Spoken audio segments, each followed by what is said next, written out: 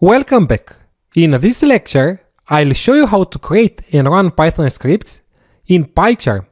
A Python script is nothing more than a text file with the .py extension that contains Python code.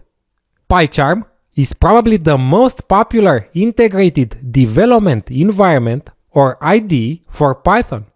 It includes great features such as excellent code completion and inspection with advanced debugger and support for web programming and various frameworks such as Django and Flask. We'll use PyCharm throughout this course. Let's open PyCharm and create a project called simply Python Bootcamp. Using PyCharm is simple. Basically, you create one or more projects and inside each project, you create Python scripts. These are text files with .py extension. A project is a directory in your file system. My new project will be called Python Bootcamp. For each project, PyCharm will create a virtual environment, which is an isolated working environment. You can leave this option clicked, create a main.py welcome script, or not. It doesn't matter at all.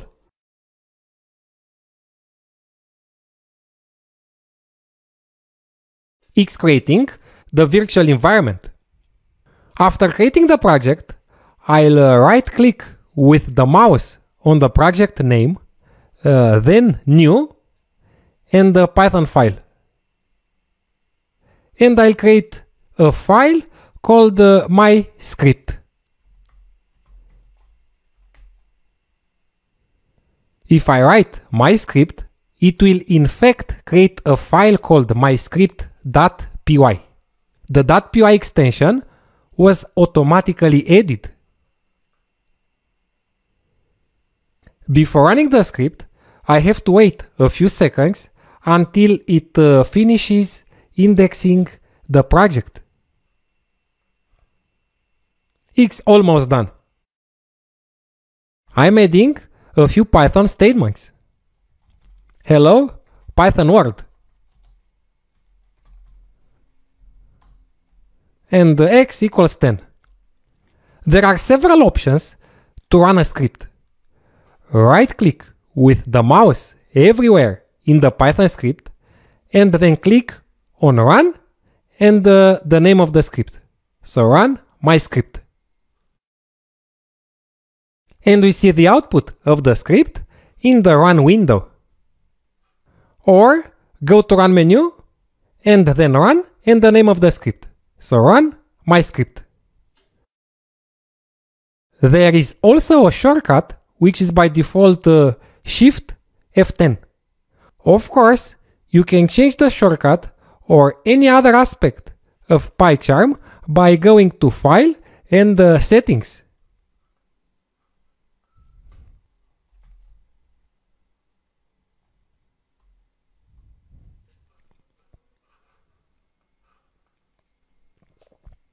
Let's go ahead and see how to run only a part of your code.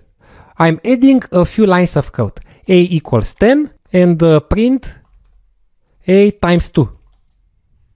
b equals uh, 20 and uh, print b times 3. And finally c equals uh, 30 and print c times c. Of course, I can run the entire script as I have already shown you. Let's suppose I don't want to run the entire script, but only these two lines of code. I just want to test a small part of the script. How can I do that? It's really simple.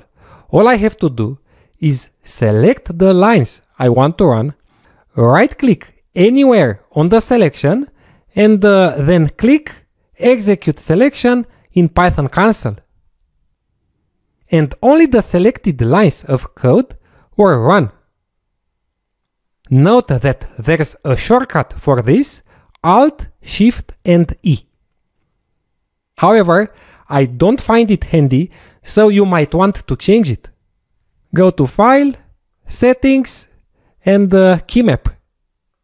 And here, search for Execute Selection. This is the shortcut for that action and you can change it.